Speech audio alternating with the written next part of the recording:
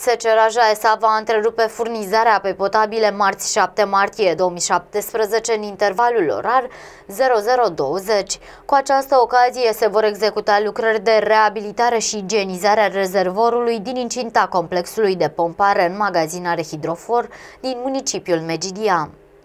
De întreruperea apei potabile vor fi afectați consumatorii din Megidia, din zonele Spital, Vest, Berărie, Catanga și strada Oprea Hârâciu. În satul Remus Opreanu, apa va fi furnizată cu presiuni scăzute în acest interval. Reprezentanții societății de apă își cer scuze față de consumatorii afectați de aceste lucrări și asigură că vor face tot ce este necesar pentru finalizarea lor și reluarea furnizării apei potabile într-un timp cât mai scurt. Totodată, toți abonații afectați de această oprire sunt rugați să-și asigure rezerva minimă de apă pentru consum și uscasnic pe perioada întreruperii furnizării apei.